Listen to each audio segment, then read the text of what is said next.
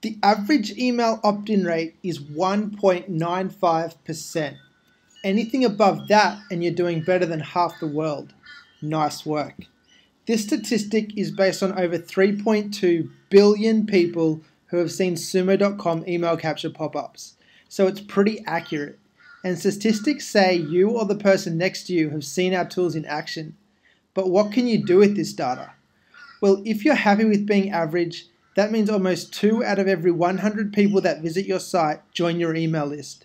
If you get 100 visitors or less per month to your site, that number might seem distressingly low, in which case you should find new ways to bring traffic to your site. Want to be more than average? How about elite? Turns out all you need to do is increase your conversion rate by less than 3%. The top 10% of marketers average a 4.77% opt in rate. Isn't it funny how going from 2 out of every 100 opting in to 5 out of 100 turns you into an elite list building machine?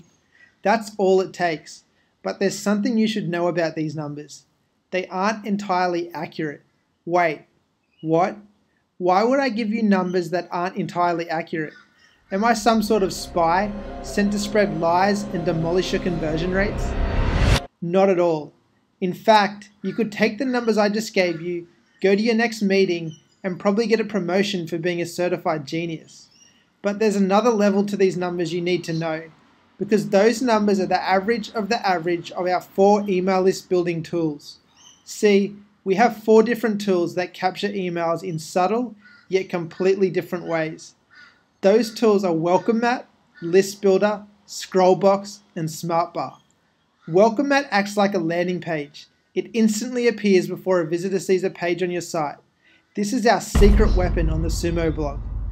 List Builder is the Swiss army knife of list building tools. It can show a pop-up three different ways. On a click, after a period of time, or before someone leaves, giving you tremendous control over building your list. Scrollbox is a pop-up that appears after a visitor reads a certain page percentage on your page so you can target your most engaged visitors.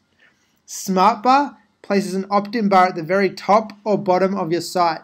It blends into your site and is a great low-key option for collecting emails. These four tools represent almost every way to capture emails on your website. And this is what the average email opt-in rate looks like across these tools. 2.9% for List Builder, 2.6% for Welcome Mat, 1.9% for Scrollbox, and 0.5% for SmartBar. Keep in mind, this is the average for these tools. This includes numbers from websites that kept the generic templates and didn't bother customizing, to websites that convert like crazy. We've seen websites that convert at 20 to 50% plus and sites that just don't convert. So I'm breaking it down by each of the list building tools to give you some helpful suggestions on how you can make the apps work harder for you whether you're below the average and want to reach it, or already above average and want to really go crazy. Starting, of course, with my personal favorite, List Builder. It's no secret, List Builder is a beast. Of all the tools, it has the highest average conversion rate, sitting at 2.9%. The top 10% of sites get a 6.5% conversion rate, whereas the bottom 25% are struggling with a 0.82% conversion rate. Fear not, the potential is there because List Builder has helped Sumo users double and triple their conversions, rapidly grow their email lists, and even earn a ton of money. It even made Brian an extra $82,125 per year. This is the part where you go pause the video, go to sumo.com, and install the free account on your site. Do that now, and I'll be here waiting for you when you get back.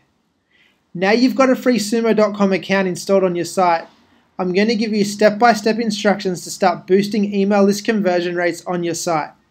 By the end of this video, you'll be rolling in email subscribers like Scrooge McDuck. First, we're going to create a click trigger. Have you ever heard of the foot in the door technique?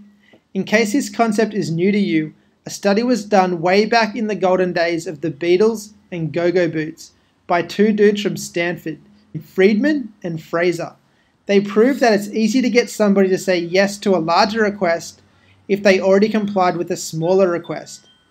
I'm not just telling you this because it's story time. This actually has powerful marketing implications.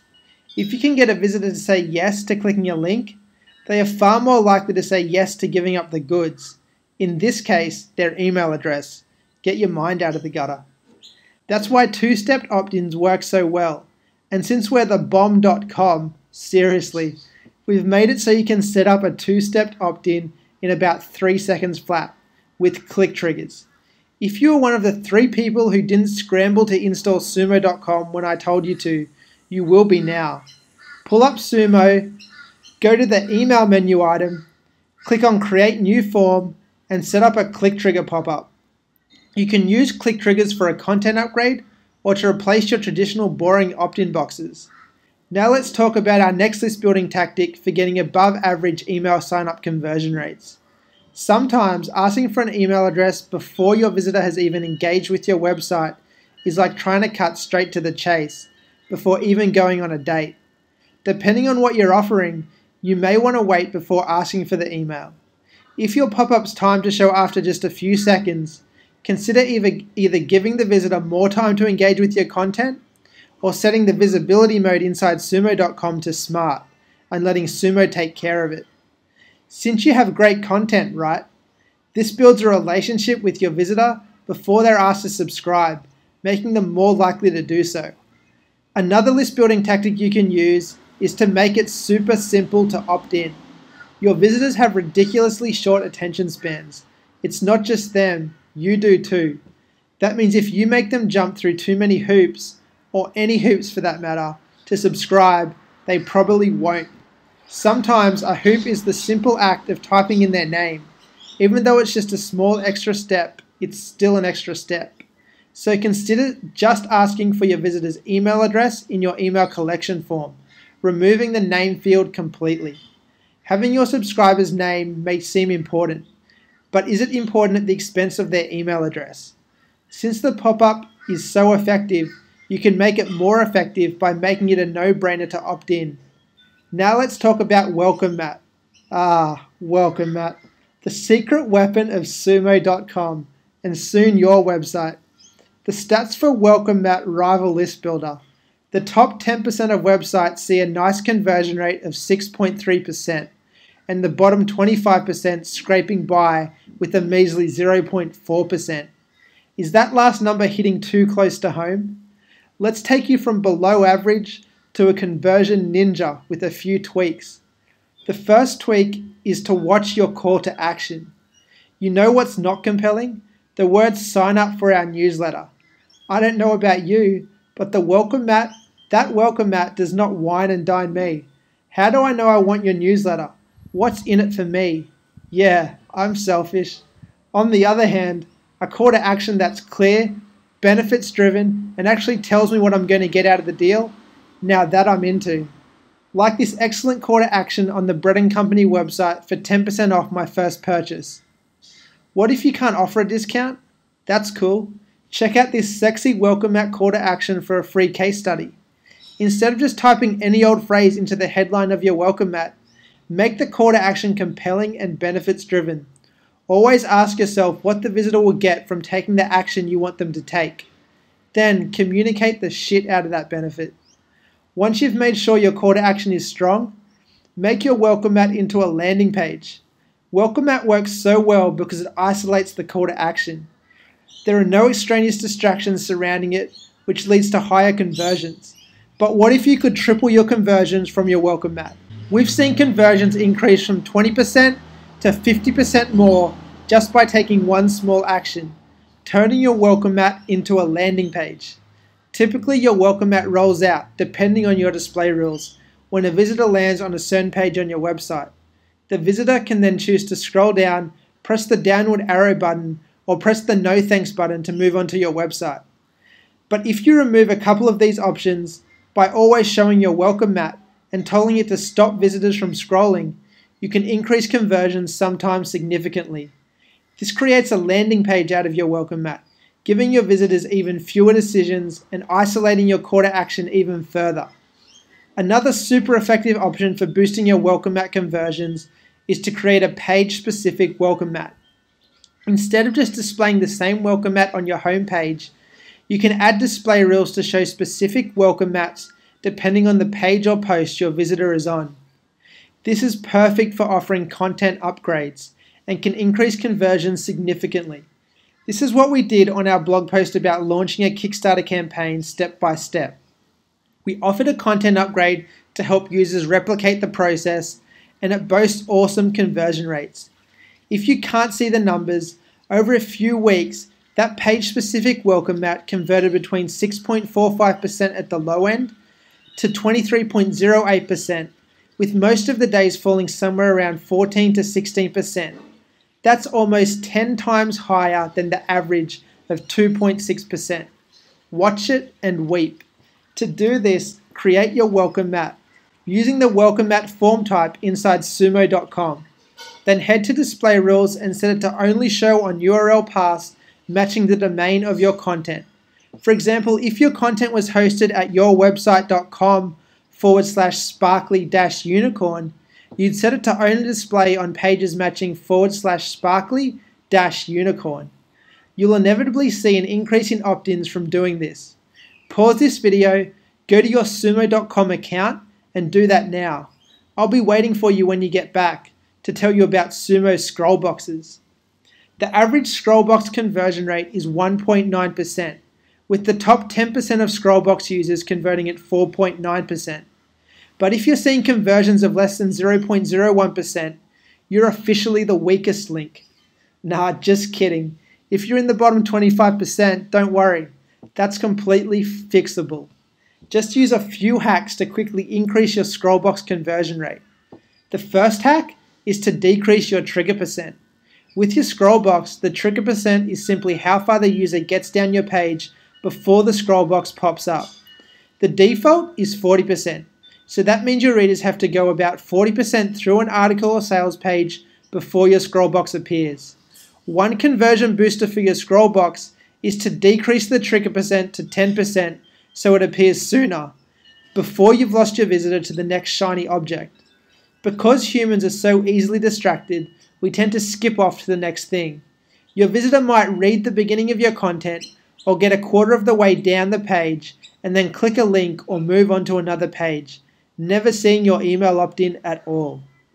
The next hack you can use is to adjust your scroll box size. You've heard that size matters, right? Well, that's not always true, but it may be true with your scroll box. If you're getting less than stellar conversion rates, try adjusting the size to make it bigger.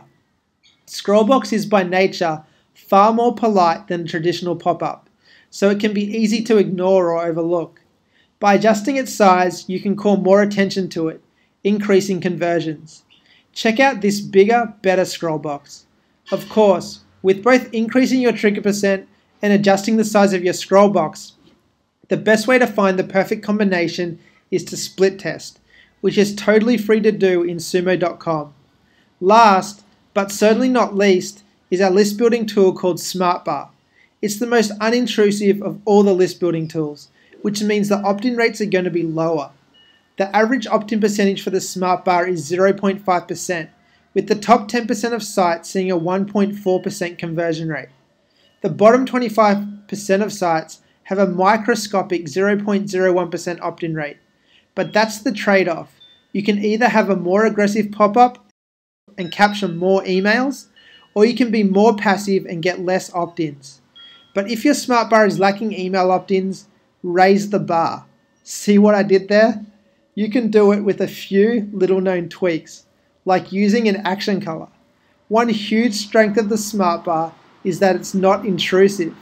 It hangs out at the top of your website, rather than catching your visitor's eye like a scroll box, list builder, or welcome mat.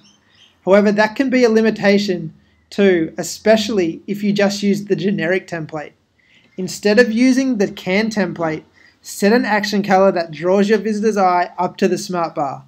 Remember, you can't convert a visitor into an email subscriber if they don't notice the opt-in form. Choose an eye-catching action color to make your smart bar stand out on the page. Another tweak you can make is to set your smart bar to move with the reader. Pause this video, go to sumo.com and open up your smart bar settings for a second. What do you see when you look at the visibility settings? If your smart bar is converting pathetically, or worse, not at all, and your display mode is set to static, try changing the setting to sticky. When your smart bar is set to static, it means that as soon as your reader scrolls down the page, they lose the smart bar. And let's be real, humans are not only lazy, but forgetful. 99.99% of people won't scroll back up to find that smart bar and enter their email address. A sticky smart bar means that it will stay with the reader all the way down the page. This makes opting in easy. We like easy. The easier you make it to subscribe to your email list, the more likely people are to take action on it. How can you know what your audience responds to so you can convert more? A quick word on all this information. Every small change you make can have a big impact on your conversion rates. The higher your conversion rate, the more emails you collect. The more emails you collect, the more revenue you can earn in your business. I've given you strategies to increase your conversions and compete with the top 10% of sites on the internet. But every audience is different. And if you don't know what your specific audience responds to, you could be leaving hundreds or thousands of emails on the table, not to mention dollars. So don't just take my word for it. Split test everything. If we didn't A B test different action colors and calls to action, how would we know which to use to maximize our reach, impact, and profit? With all of these suggestions, test them out, and see what works with your audience. If you haven't already, install sumo.com and A B test everything for free. Tests on tests on tests. Once you know what works, do more of it. Then sit back and watch the email opt ins roll in.